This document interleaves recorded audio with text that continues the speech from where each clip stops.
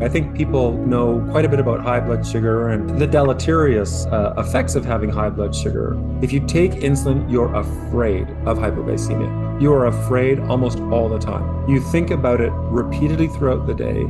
If you're a parent, uh, I have a son with type 1 diabetes. I'm afraid for him when he goes to sleep. I'm afraid for him when he goes to college, drives a car. It's something those of us who get hypoglycemia know about and fear all the time.